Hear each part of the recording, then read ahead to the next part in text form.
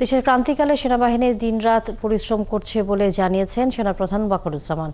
সকালে সশস্ত্র বাহিনী দিবস উপলক্ষে বীর মুক্তিযোদ্ধা, সেনা সদস্যদের সংবর্ধনা ও সেনাবাহিনীর শান্তিকালীন পদক প্রদান অনুষ্ঠানে কথা বলেন তিনি।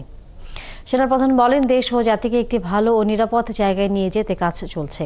অনুষ্ঠানে সেনাপ্রধান জেনারেল ওয়াকারুজ্জামান, খেতাবপ্রাপ্ত ও বীর মুক্তিযোদ্ধা সেনা সদস্য এবং তাদের নিকটাত্মীয়দের সাথে কুশল বিনিময় করেন।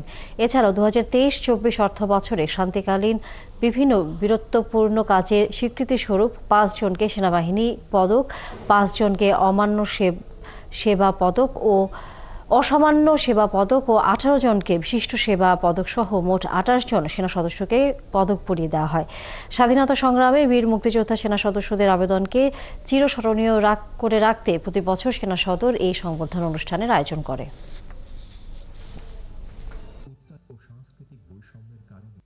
আজকে যে সেনাবাহিনী আমরা এখানে দাঁড়িয়ে আছি, সেই সেনাবাহিনী এবং এই সেনাবাহিনী দেশের ক্রান্তিকালে অনেক ভালো কাজ করে যাচ্ছে।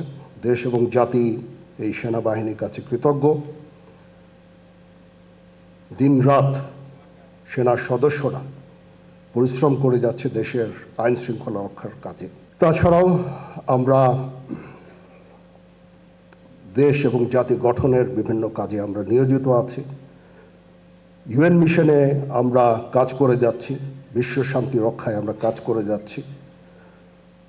ডিজাস্টারের ডিজাস্টার রিলিফ কাজেও আমরা আমরা করে যাচ্ছি এবং আমরা পারদর্শিতা অর্জন করেছি। সামনে আরও সময় আছে, একটু ডিফিকাল্ট সময় পার করতে হবে আমাদের এবং আমরা যেন দেশ এবং জাতিকে একটা ভালো জায়গায়, একটা নিরাপদ জায়গায় নিয়ে যেতে পারি, সেজন্য আমাদের জন্য দোয়া করবেন।